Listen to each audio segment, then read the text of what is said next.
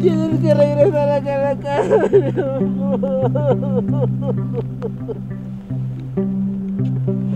Ay, te queremos, mi vida. Ay, mi amor, tienes que regresar, tienes que regresar. Vas a regresar acá a la casa.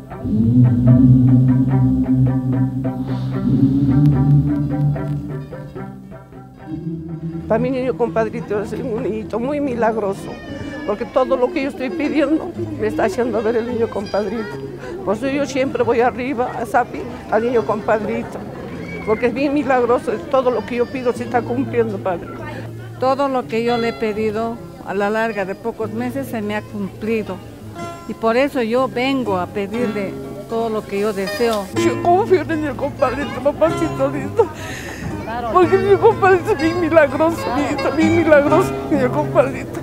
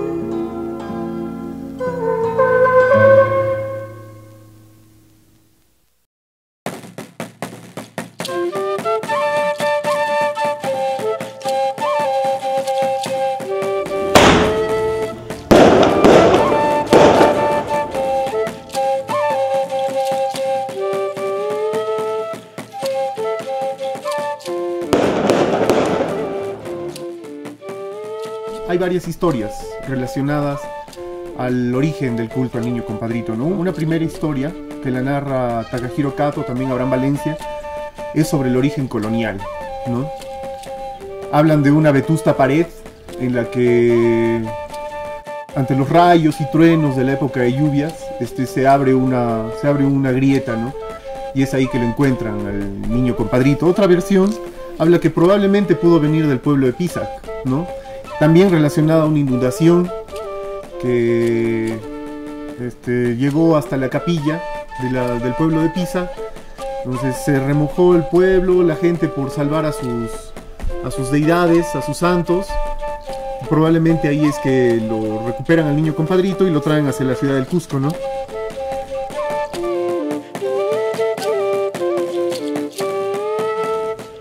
Estoy viendo eh, en, este contexto de la festividad del niño compadrito una recreación de lo que pudo haber sido un festín en época inca.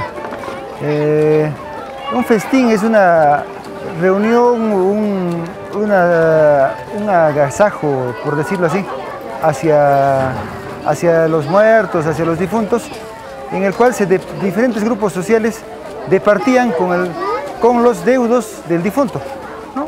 Y en ese contexto se, se in- involucraban, se eh, servían comidas, se servían bebidas.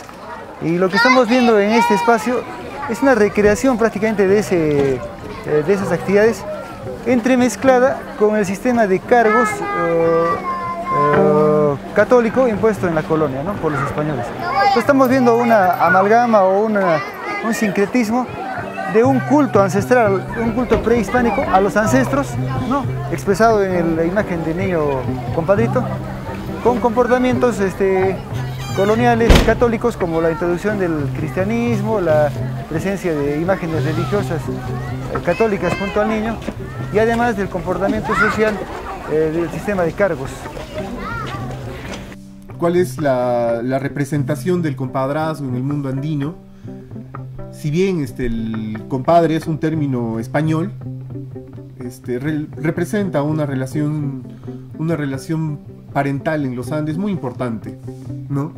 la familia en los Andes no solamente era la familia sanguínea, ¿no? sino se hacían lazos de afinidad. Y estos lazos de afinidad se, se marcaban a través del parentesco extenso, en el caso del compadre, ¿no? Entonces, así como podían hacerse compadres de grandes autoridades, de gente importante del pueblo, también se hacían compadres con el mundo de los muertos, ¿no? A través de buscar favores, de buscar justicia, ¿no? En su vida, en la vida cotidiana de las personas que asisten a esta capilla. Yo doy testimonio de ello porque los, los favores que yo le he pedido, él siempre me los ha cumplido y le tengo mucha fe. Eh, yo le tengo mucha fe al niño, eh, por eso de repente le dedico mi tiempo, eh, estoy en compañía de mi hermano, atendemos a los que visitan al niño por su onomástico, ¿no? Yo le pido todo, todo, todo lo que yo decía, todo lo que yo pido me, me da el niño compadrito, me hace ver la realidad, papá, me hace ver y me sueño con él, me sueño, me sueño, me hace ver, papá, bien. Hermanos, hoy 2 de noviembre, día de todos nuestros difuntos, al mismo tiempo festejamos al niño compadrito que lo tenemos aquí en el altar. Vamos a brindar nuestra Santa Misa a Dios nuestro Padre celebrando esta fiesta del niño compadrito.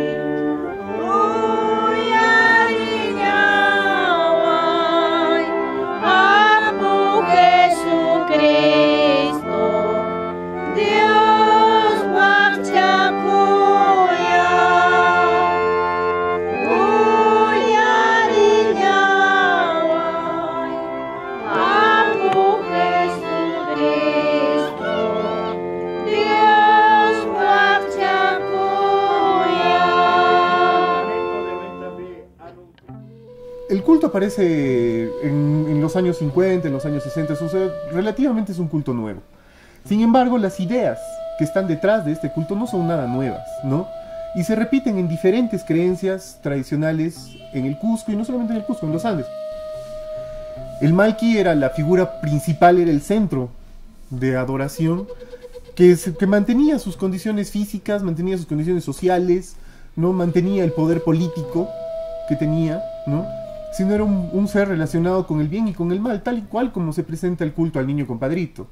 Ahora, como nosotros mismos hemos visto, este culto está cambiando, ¿no?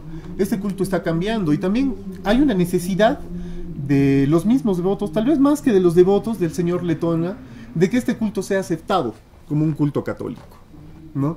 Entonces, en base a eso se han hecho varias prohibiciones, ¿no? Como el, el hecho de que ya no se le prenda las velas negras, ¿no? Que eran muy relacionadas justamente al, al tema de justicia, por el que ha sido más conocido el niño compadrito. Desde que tengo uso de razón, más o menos les diré unos cinco años, cuatro años, es que siempre hemos visitado al niño compadrito en Tambo de Montero. Mis papás eran los que siempre me han llevado a visitarlo. Siempre he escuchado hablar a mi, mi- a mi señora madre que existía el niño compadrito y anhelaba encontrar, conocerlo. No vale si no vamos a brindar un fuerte aplauso al niño compadrito. A ver, venga, venga la mano para el niño compadrito, que se sienta, que se sienta. Ah, ahí está, claro que sí. Bueno, la fiesta del niño compadrito en realidad es bastante nueva, ¿no? Las primeras veces que yo fui al culto, este, no, se, no se realizaba la fiesta de Lanteros. O sea, este, esta, esta ceremonia de fiesta de cumpleaños tendrá unos 6 años, 7 años tal vez, ¿no? Entonces, esta fiesta, más que nada, está relacionada con la fecha del Día de los Muertos, ¿no? El niño es un muertito, como dice la gente, ¿no? Entonces, su cumpleaños es el Día de los Muertos. No se le celebra el Día de los Muertos. Entonces, como es un niño, la gente le hace una fiesta de cumpleaños como si fuera un niño, ¿no? Ahora, dentro de la historia, nosotros sabemos que hay varias, hay varias creencias. Por ejemplo, que el niño está creciendo, ¿no? Que el niño va creciendo, que ya no le gusta jugar con sus juguetes, que de pronto le gustan los casinos, ¿no? Que de pronto también le gustan que le gusta tomar su traguito, ¿no? Entonces estas, estas creencias este, hacen de que sea un proceso la fiesta del cumpleaños, ¿no? Comienza con una fiesta de niños, en la cual se contrata un payaso, la gente lleva golosinas, lleva gaseosa, caramelos, chocolates, ¿no? Después de ello, la gente adulta también se queda, ¿no? También se queda y comienzan a compartir con él como ya un, como ya un ser que va creciendo, ¿no? Como ya un adolescente o tal vez un adulto. Los devotos, eh, sí, pues van con sus hijos, hay muchos niños, se invita a muchos niños que desde un principio lo ven con naturalidad, ¿no? Y lo consideran un amigo también. Es parte de la socialización del grupo, ¿no? Lo que los padres aprendieron se lo enseñan a sus hijos, ¿no?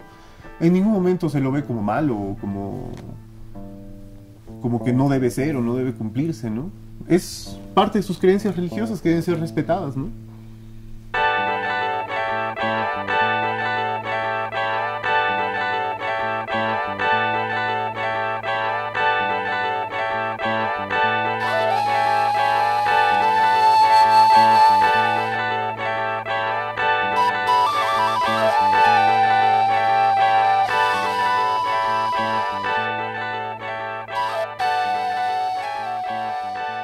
Muerto, en el mundo andino, el Maiki, mantenía su importancia social, mantenía su importancia política, ¿no?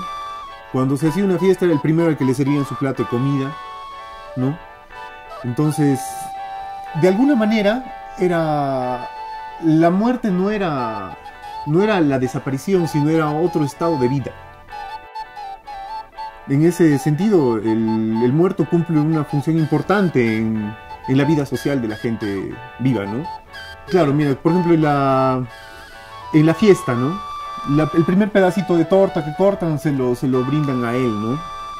Como una manera de respeto también, ¿no? O sea, eh, está, está vivo, está presente de alguna manera, ¿no? En la, en la creencia de la gente, en la creencia de los devotos, ¿no? Entonces sí, pues se le ofrece, se le ofrece comida, se le lleva regalos, ¿no? Se le, se le lleva chocolatillos, se le lleva dulces, caramelos, ¿no?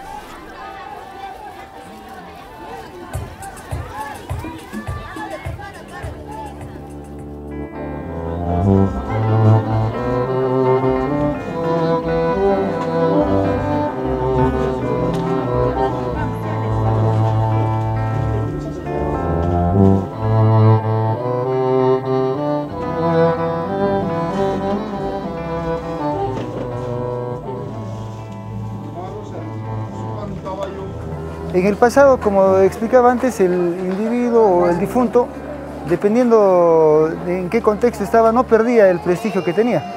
Seguía tratándosele como si, como si él estaría vivo. ¿no? Entonces, eh, si, asumimos ese concepto, eh, lo que está ocurriendo ahora, el día 2 de, no- 2 de noviembre, en el que estamos celebrando la fiesta del niño compadrito, estamos celebrando su onomástico. Entonces, no es que el niño compadrito esté muerto, en realidad, sino que está para la religiosidad, para, la, eh, para los fieles, el niño compadrito sigue vivo y por ende, como es su cumpleaños, se le traen los regalos. Entonces sigue siendo un comportamiento ancestral, un comportamiento que, digamos, ha podido existir en época prehispánica.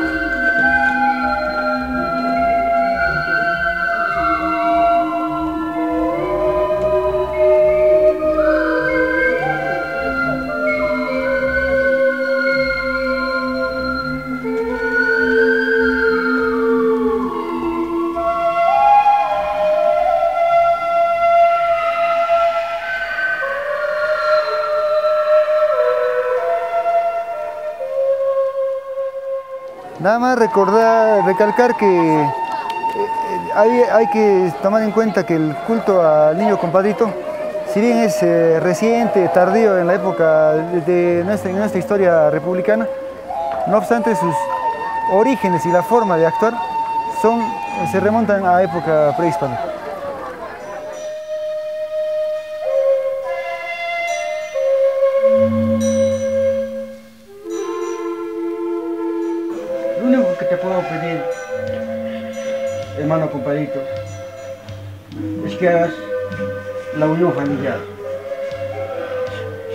Pido también que la comparsa que nosotros bailamos año en año a nuestro Padre Coyoiti lo haga grande. El Hijo y el Espíritu Santo. Paco Nancy, cama, Paito, Paco. Papito, para, me voy a despedir porque yo me voy para Buenos Aires y él sabe. Papito, bendición si Dios quiere, va a venir ahora. Ya, ya, ahora sí. Has regresado, has recibido con amor. Que Dios te dé mucha bendición. Gracias por todo lo que nos has recibido.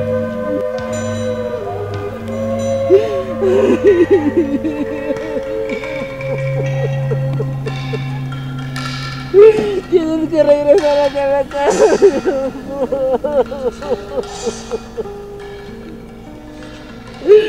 Ay, te queremos, mi vida. Ay, mi amor, tienes que regresar, tienes que regresar. Vas a regresar acá a la casa. Vas a... Creo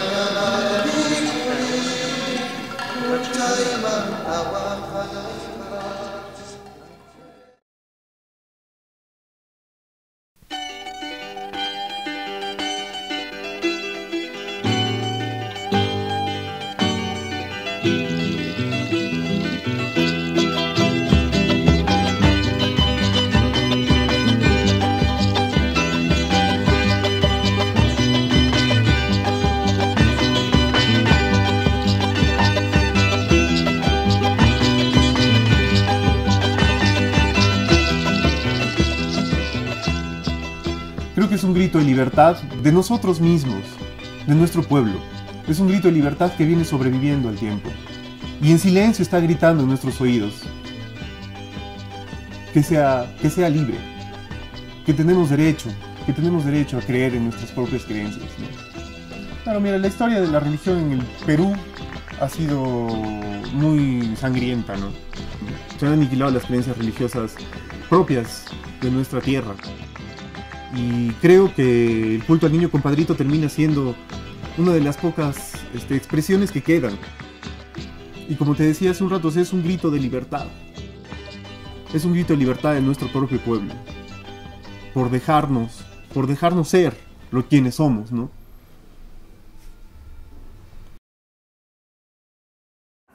Yo amo al niño compadrito. Yo lo amo al niño compadrito y lo adoro. Lo que yo siento por él es un amor inmenso. Es como si fuese un, un- un hijito mío también, pero a la vez un santito muy especial. Hay que pedirle con fe y hay que cumplirle porque él también nos cumple.